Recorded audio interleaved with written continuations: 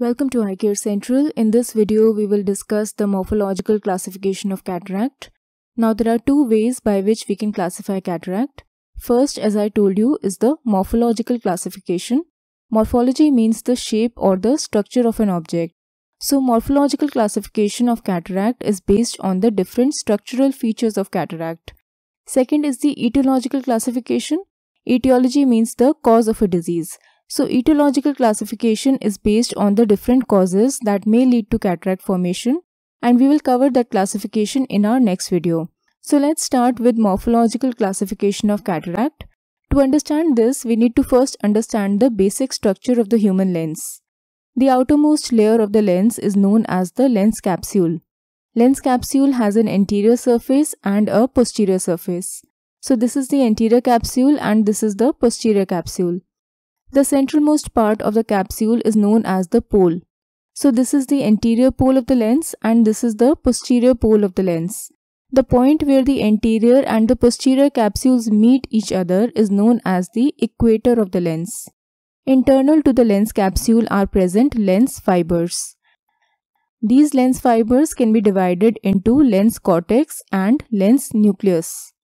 The layer of lens fibers that is directly under the capsule is known as the lens cortex. Cortex comprises about 16% of the total lens fibers and it is made up of the youngest, that is the most recently formed fibers because during lens growth, fibers are laid down from the inside to the outside. Since cortex lies on the outside, it contains newly formed fibers. Under the cortex lies the lens nucleus. Nucleus forms about 84% of the total lens fibers. Lens nucleus can be further subdivided into four zones based on the stage of life when these lens fibers were formed. So in the innermost part of the lens lies the embryonic nucleus. It consists of primary lens fibers that are laid down during embryogenesis. So these are the oldest fibers of the lens. If you are not familiar with the embryological development of the lens, you might want to check out my video on lens anatomy where I have discussed this in detail. Surrounding the embryonic nucleus is the fetal nucleus. It consists of secondary lens fibers that are laid down around the embryonic nucleus before birth.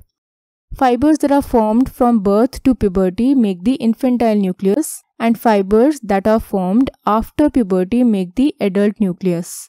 You must have also heard of the terms epinucleus and endonucleus. We use these terms when we discuss the surgical zones of a cataract.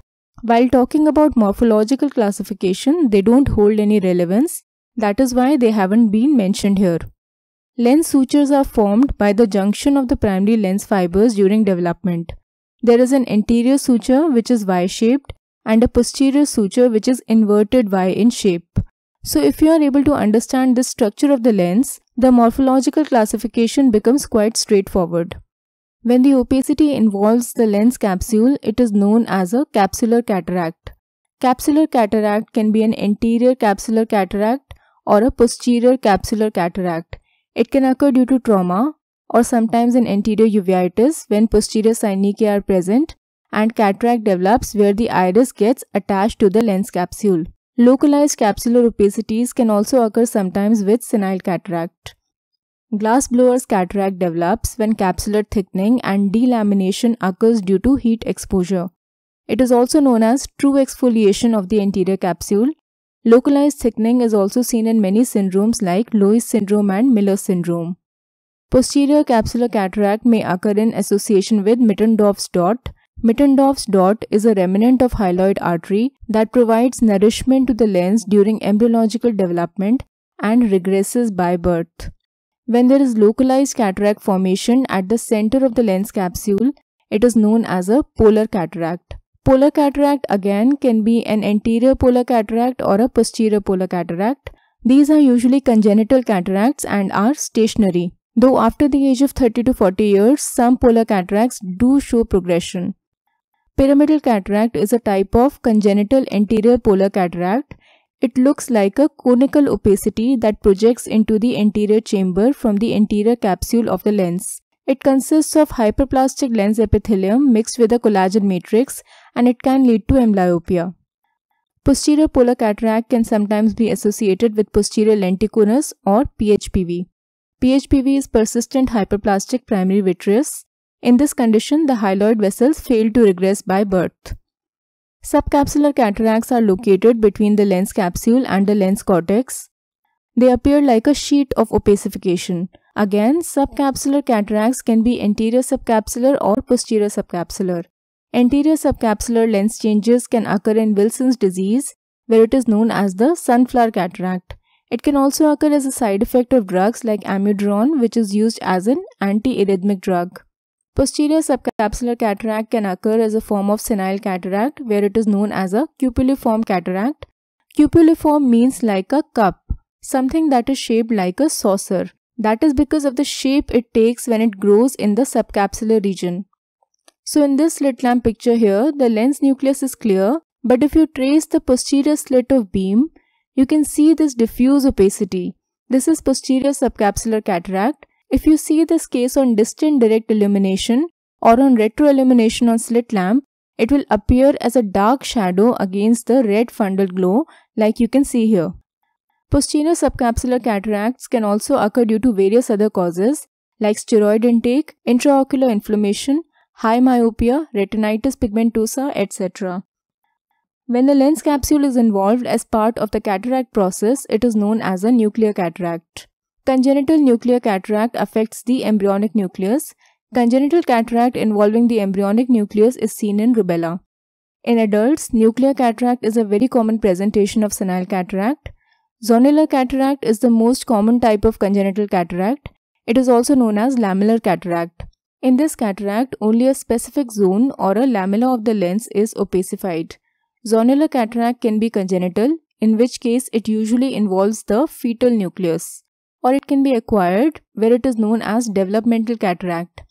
The insult usually occurs during the first two years of life, example in diseases like rickets or hypocalcemia, and in such cases it affects the infantile nucleus. Radial spoke-like opacities that are known as riders are characteristically seen in zonular cataract. Cortical cataract develops when the lens cortex develops opacities. It can be a developmental cataract that involves either the adult nucleus or the cortex. It appears as small, oval, discrete, club-shaped opacities that are arranged in a radial pattern around the nucleus. This arrangement of developmental cortical cataract has given it a name that is coronary cataract because this arrangement resembles the top of a crown. Acquired cortical cataract is very commonly seen in senile cataract where it is known as cuneiform cataract. It consists of wedge-shaped opacities extending from the periphery of the lens towards the center of the lens. These wedge-shaped opacities that you can see in this picture signify cortical cataract and this is how they look on distant direct ophthalmoscopy.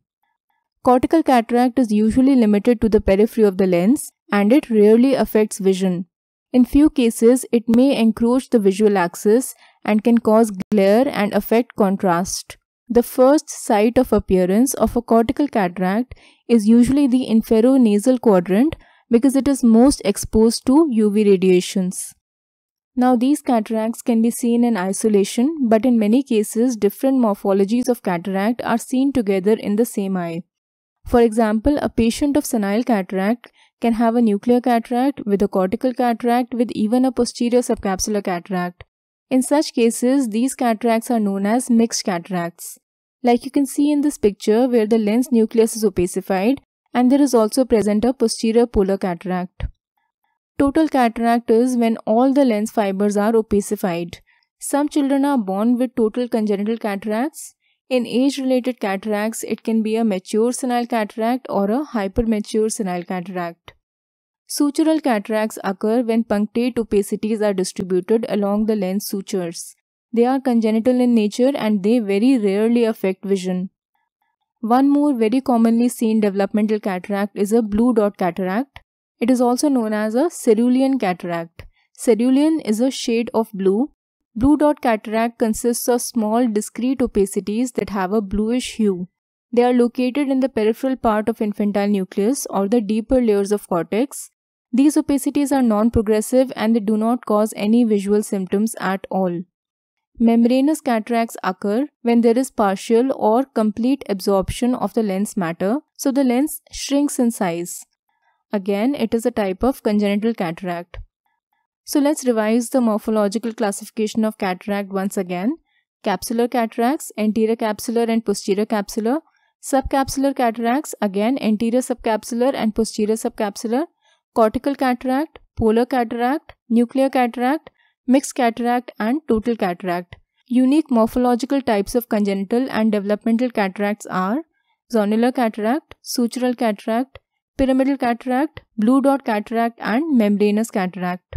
In the next video, we will discuss the etiological classification of cataract. Till then, please like and share this video with your friends and colleagues if you found it useful. And please subscribe to my channel to support free education. Thank you very much.